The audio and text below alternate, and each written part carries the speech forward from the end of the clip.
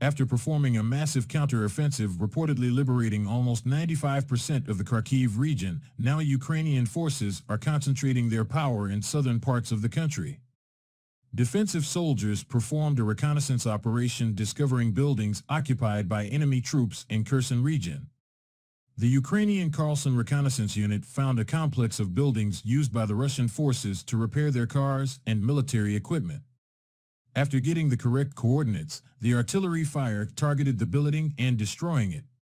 Drone recorded the moment of the strikes while enemy soldiers are seen moving in the area.